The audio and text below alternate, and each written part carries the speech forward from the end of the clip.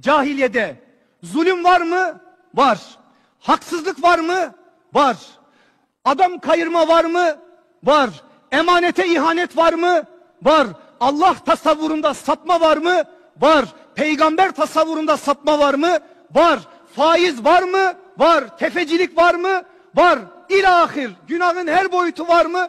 Var. Bunların hepsi Mekke'deki cahiliyede vardı.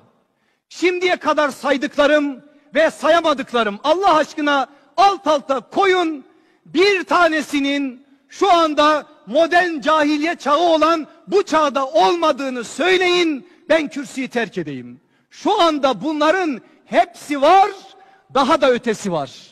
Bir itiraz yapabilirsiniz bana dersiniz ki hocam Mekke'nin cahiliyesinde kız çocukları diri diri toprağa gömülüyordu.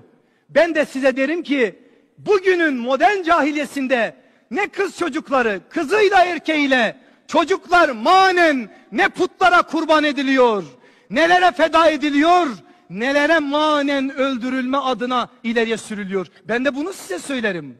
Daha da ötesini söylerim.